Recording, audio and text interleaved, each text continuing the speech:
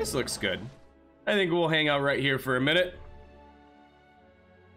We're gonna get into these updates, guys.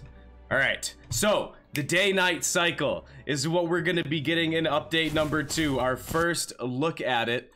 I'm gonna bring that over here so we can review each of the screenshots that Punch Packet has shared with us. So here's the look of a Hypsilophodon from a tree looking out over the map. And that is our first look at sunset or sunrise. I'm not really sure, but it is going to be gorgeous. Let me see here.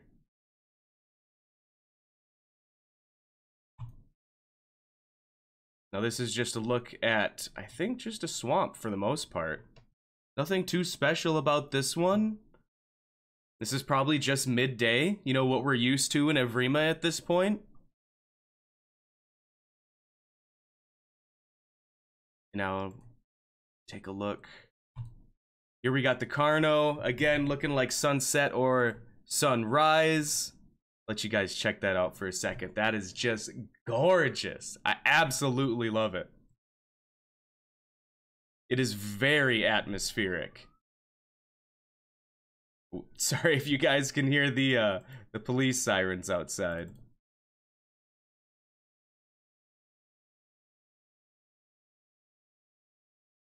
Hold on, hold on. Ooh, ooh, nope, nope, nope. Don't you do that on me. Alright. We'll play a little bit of Isle music for some uh ambience.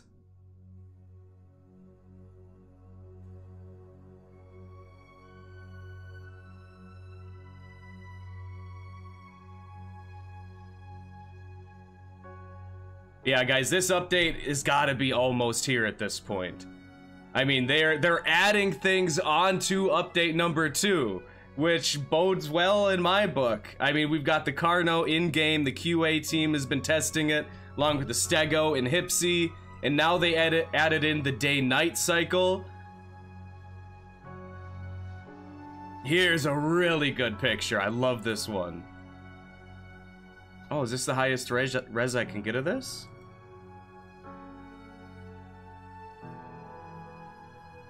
But that's a swamp at sunset. Yeah, how anyone could willingly return to Legacy after seeing all this stuff is really beyond me. Because, man, gorgeous stuff. I love the look of the night sky. You know, too often in these games, uh, you'll see uh, stars shining through the moon, but it does not look like that's what's happening here.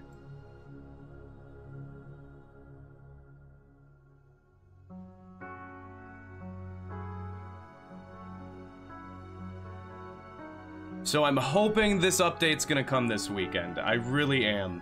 If not, we still only have just 10 days left in this month, and it does not appear that the dev team is slowing down at all or having much problems in terms of, uh, you know, bugs with the new dinos. Hey, Des Mori, thanks for the follow on Twitch.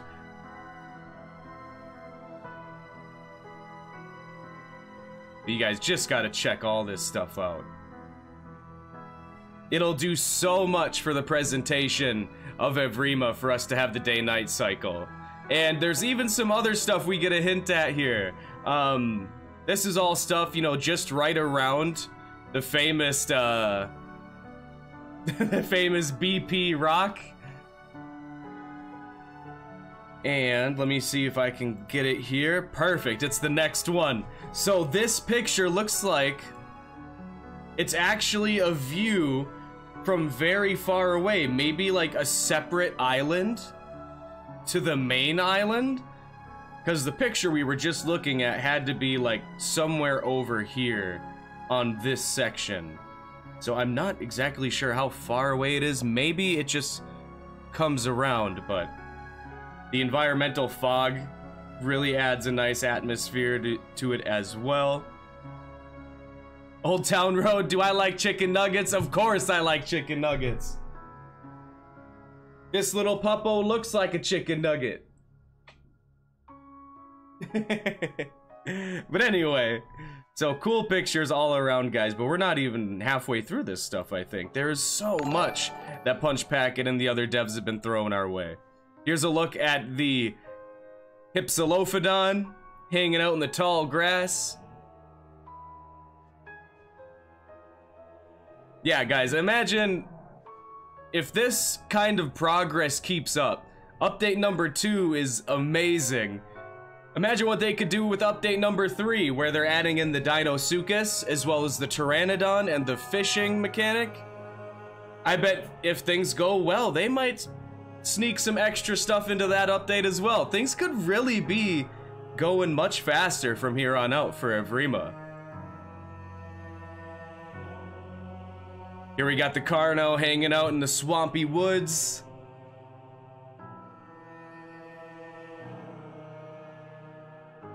Yeah, please, please let me get this update this weekend. I'm dying to play the new Carno, the new Stego, and the Hypsilophodon, along with the new day-night cycle, which I'm sure will just be beautiful across the map.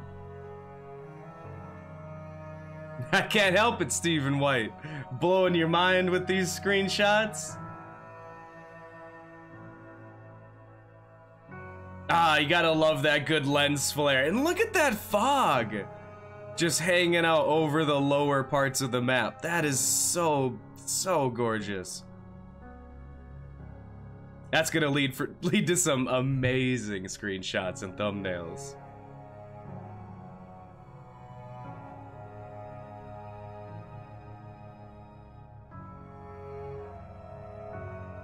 Yeah, I hope night vision won't be as like it is in Legacy.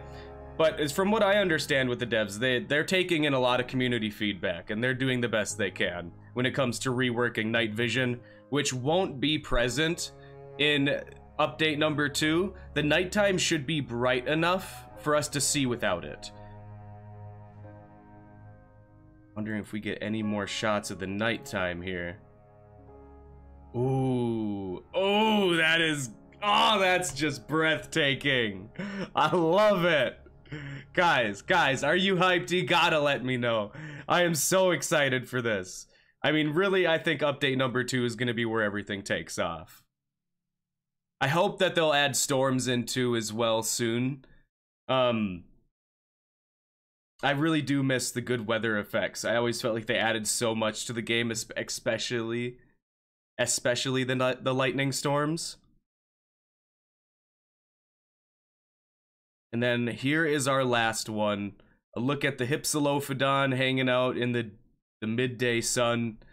That, that lens flare there again. But that's really it for all of our pictures of the day-night cycle, guys. You gotta let me know what you think. I'm super hyped. It's amazing they continue to just find ways to put more and more into this upcoming update. And I really hope that it's going to be dropping here when they said in November really hoping it could be even sooner, like maybe sometime this weekend. But we'll just have to pay attention to the Isle official Discord and see what the devs are saying, because right now they're just they're just throwing so much our way that I can't help but feel that they are are very close to being ready with this one. But alright guys, thanks for watching this section of the stream. Always happy to go over the Isles Phase 2 section with you. The devs love to tease us and spoil us with all this cool stuff. So stay tuned. We'll have tons more content in the coming days, I am sure.